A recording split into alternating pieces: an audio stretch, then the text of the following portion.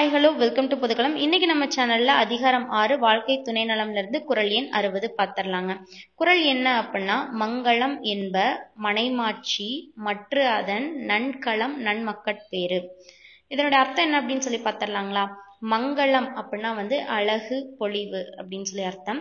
என்ப அப்படின்னா என்பது மனைமாட்சி அப்படின்னா மனை அப்படிங்கிறது வந்து மலையாளை அதாவது மனைவியை வந்து சொல்லியிருக்காங்க மாச்சி அப்படின்னா வந்து நற்பண்பு பெருமை அப்படின்னு சொல்லி எடுத்துக்கலாம்.